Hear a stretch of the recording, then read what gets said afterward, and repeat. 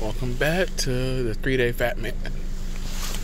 Okay, so this is the last day that I'm eating. Normally, I only do just one day of refeeds, but yeah, I'm fat. I'm addicted to food. I enjoy it.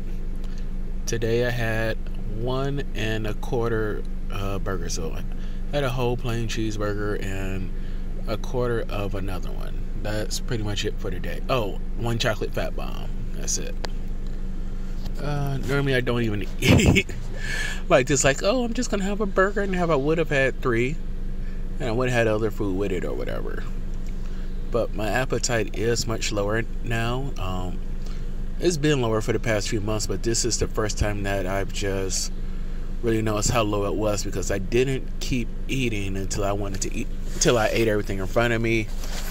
I ate until I no longer felt a desire to eat, and that included something that I'm still struggling with a bit here, which is to chew my food much more properly.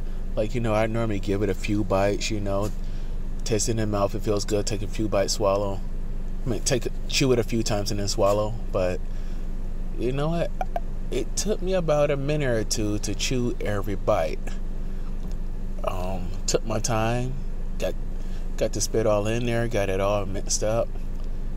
Came out pretty good. I mean, not how it went down, but my food tasted well. You could still taste the flavor after such a such a long time. I'm not used to that. I know it may sound simpler or basic to some of you, but I'm not used to it. But I got to enjoy my food a bit more.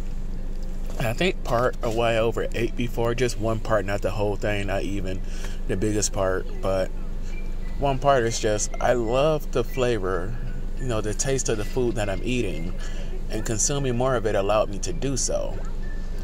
And I didn't like spending much time just chewing up what I put in my mouth. Because it just wasn't something I was just used to doing.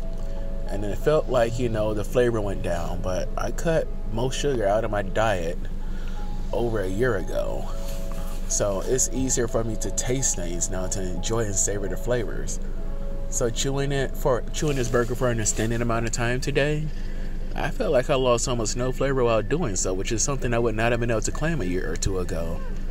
So I enjoyed it more. I think that's going to help me uh, more long term on more long term on my uh, health and fitness journey.